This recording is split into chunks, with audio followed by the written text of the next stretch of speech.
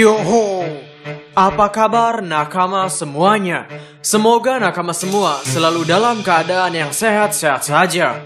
One Piece sudah sebentar lagi mencapai chapter 1000. Untuk mencapai chapter sebanyak ini, Eiichiro Oda membutuhkan waktu kurang lebih selama 23 tahun. Sungguh waktu yang tidak sebentar. Kita patut mengapresiasi kekonsistenan Eiichiro Oda dalam menulis manga One Piece. Ya, meskipun akhir-akhir ini Eiichiro Oda dirasa cukup banyak liburnya, namun mari kita maklumi saja. Yang terpenting, cerita manga One Piece tetap berkelanjutan. Perbincangan tentang siapa nakama ke-10 kru topi jerami memanglah menjadi bahan diskusi yang tidak ada habisnya. Dan kali ini pun, kita akan membahas hal tersebut tentang alasan kenapa Yamato akan menjadi kru bajak laut topi jerami. Jadi, Selamat datang di Mega Teori Diskus OP. Tanpa basa-basi lagi, langsung saja. Mari kita mulai. Yamato, karakter yang pertama kali muncul pada chapter 971 ini, bisa dikatakan saat ini menjadi karakter yang sangat-sangat populer. Bagaimana tidak, hanya karena dia adalah anak dari karakter Yonko Kaido dan memiliki paras yang mempesona. Di samping itu, ia juga merupakan karakter yang bisa dibilang cukup kuat. Buktinya, ia bisa membuat mode hybrid ulti terpental hanya dengan satu serangan. Selain itu, saat ini bisa dibilang Yamato adalah karakter yang sepertinya mengetahui hal banyak tentang riwayat petualangan sang raja bajak laut Goldie Roger. Hal ini Yamato dapatkan dari membaca buku petualangan Oden Kozuki yang Yamato sebut sebagai Bible atau kitab. Karakter dengan potensi luar biasa seperti ini pasti sangat diinginkan oleh para fans untuk Yamato masuk menjadi anggota kelompok kru topi jerami. Ya, para fans memang boleh saja berandai-andai. Namun, lebih baik apabila kita memiliki dasar untuk mengutarakan harapan tersebut. Baiklah, inilah dasar-dasar tentang Yamato yang akan menjadi anggota kelompok kru topi jerami. Hukum pengguna buah setan dalam kelompok kru topi jerami.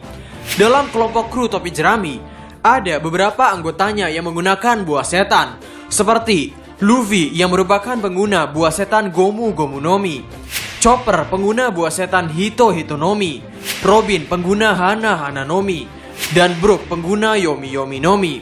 Dari keempat buah setan ini, apabila kita analisa, kita akan mendapatkan suatu kode yaitu dari mulai Gomu Gomu Nomi.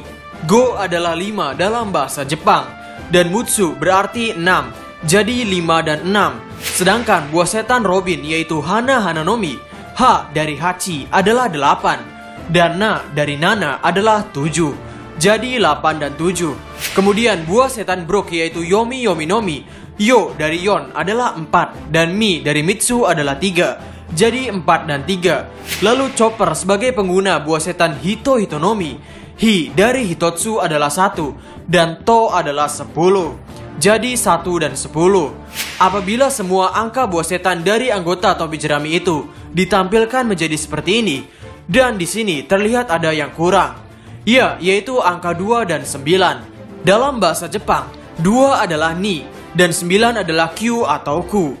Jadi di sini ada dua kemungkinan nama buah setan yang harus dimiliki oleh calon anggota selanjutnya kelompok kru topi jerami, yaitu buah setan Nikyu Nikyunomi atau Niku Nikunomi. Sampai saat ini, kedua buah setan ini, buah setan yang kita kenali adalah Nikyu Nikyunomi, yaitu buah setan milik Bartolomeo Kuma. Di mana kekuatan dari buah setan ini adalah kekuatan yang sangat luar biasa. Kekuatan ini bisa digunakan untuk jalan-jalan ke mana saja, bisa dibilang, saingannya pintu ke mana saja milik Doraemon.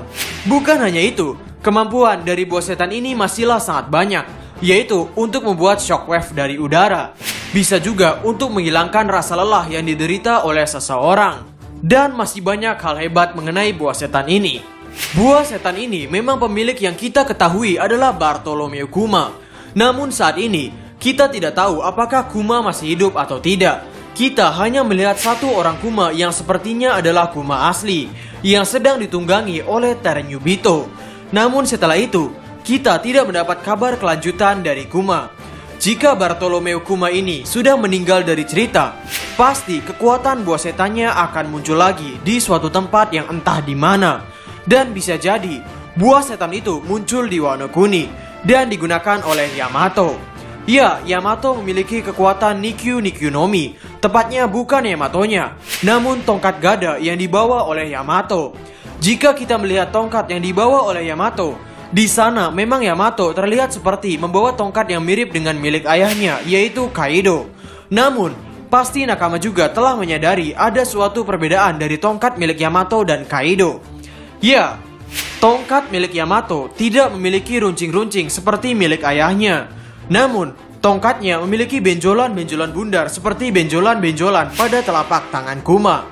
Ya, karena kami masih berpikir Yamato sendiri memiliki kemampuan buah setan Zoan. Dan hal ini juga sudah ditandai oleh Oda Sensei dengan menunjukkan adegan Yamato yang berubah giginya. Maka kami berteori, kekuatan Nikyu Nikunomi ini ada pada tongkat gada milik Yamato. Dan hal ini dibuktikan pada beberapa panel. Salah satunya adalah ada di chapter 994. Di sana, ketika Yamato diserang oleh pasukan Sasaki, Yamato terkena serangan ledakan yang cukup besar. Namun di panel selanjutnya, bisa Nakama melihat bahwa Yamato baik-baik saja. Ya mungkin banyak nakama yang maklum dengan hal ini karena Yamato merupakan anak dari makhluk terkuat Kaido. Namun di sana bahkan Momonosuke pun bertanya-tanya, kenapa Yamato tidak terluka? Apakah Yamato perlu mengatakan hal ini? Menurut kami, hal ini menekankan bahwa Yamato tidak apa-apa setelah mendapatkan serangan ledakan seperti itu. Dan cara Yamato menahan serangan ledakan seperti itu adalah dengan menggunakan kekuatan Nikyu Nikyunomi miliknya. Ya, kekuatan Nikyu Nikyunomi ini bisa juga untuk menangkis atau membelokkan serangan musuh. Jadi wajar saja jika Yamato dalam keadaan yang baik-baik saja. Kemudian bukti yang kedua adalah ketika Yamato akan menyerang Numbers. Yamato melakukan serangan sambil terjatuh dan serangan tersebut dilakukan dengan jarak jauh. Terlihat di sana sebelum melakukan serangan Yamato melakukan ancang-ancang dan terlihat juga di sana ada kilatan-kilatan haki rajanya. Dan kemudian dari udara yang tidak ada apa-apanya, Yamato seperti memukul batu atau mengempaskan sesuatu untuk menyerang Numbers. Dan hal ini juga sesuai dengan prinsip kekuatan Nikyu Nikyunomi yang penggunanya bisa menciptakan suatu shockwave dari udara yang kosong. Kru topi jerami membutuhkan juru pencatat petualangan. Dalam kelompok kru topi jerami, memang semuanya memiliki tugasnya masing-masing. Dan sekarang, peran yang belum ada di kelompok kru topi jerami ini adalah juru tulis petualangan. Yamato yang sangat mengagumi Oden Kozuki dan memiliki buku jurnal petualangan Oden Kozuki pasti membuat Yamato ingin menulis kisahnya sendiri bersama suatu bajak laut.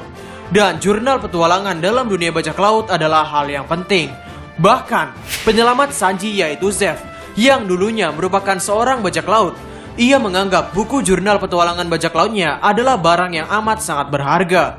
Dan sekarang pun, buku jurnal petualangan Oden Kozuki menjadi seperti harta karun informasi bagi yang ingin mengetahuinya. Jadi kami rasa, di kelompok kru topi jerami pun memerlukan peran ini. Dan yang paling cocok untuk mengisi posisi itu adalah Yamato. Karena dia sudah terbiasa dengan membaca jurnal milik Oden Kozuki. Dan dengan bergabungnya Yamato juga, menjadikan kelompok kru topi jerami lebih kuat lagi. Bagaimana tidak, dia adalah anak dari seorang Yonko yang merupakan makhluk terkuat.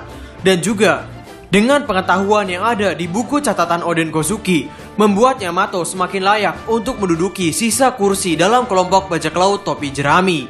Dengan pengetahuan tentang perjalanan Oden dalam menuju ke Laftel, Yamato akan sangat berguna bagi kelompok kru topi jerami dalam petualangan selanjutnya, terutama petualangan menuju Pulau Laftel. Jadi, dengan dasar-dasar itulah kami berteori bahwa Yamato kemungkinan besar akan masuk menjadi anggota kelompok kru topi jerami yang ke-10. Baiklah, Mungkin sekian dulu video kali ini. Bagaimana menurut nakama semuanya? Silahkan tulis pendapat atau koreksi nakama semua di kolom komentar di bawah. Jadi, kami diskus OP dan terima kasih banyak.